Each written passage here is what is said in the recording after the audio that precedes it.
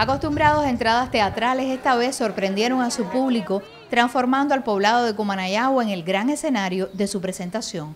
Sin elaborados guiones ni más accesorios que las flores cultivadas en el jardín de la primera galería rural de Cuba, creada por el artista de la plástica Nelson Domínguez, descendieron de su sede del Jovero en las montañas para traer con ellas el agradecimiento de todos.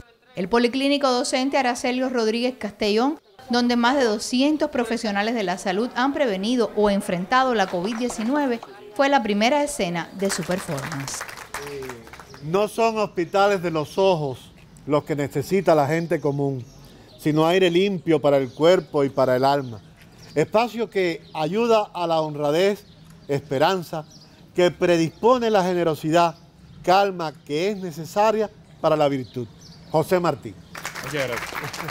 con exóticas espigas de heliconias, correspondieron a tanto desvelo del Consejo Municipal de Defensa, a los miembros del Ministerio del Interior, también a quienes brindan servicios indispensables y a la radio, que ha transmitido cientos de horas de mensajes sobre una enfermedad inédita para el mundo.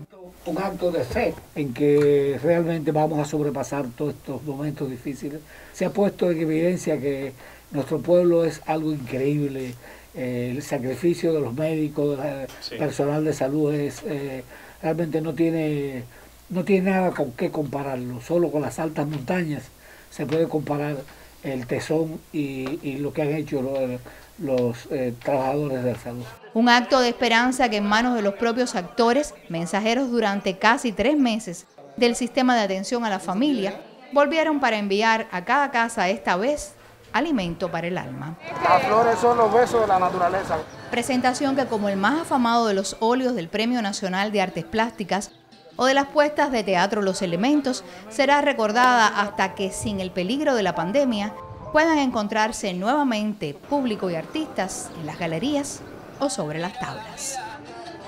Desde Cienfuegos, Inmari Barcia, Sistema Informativo de la Televisión Cubana.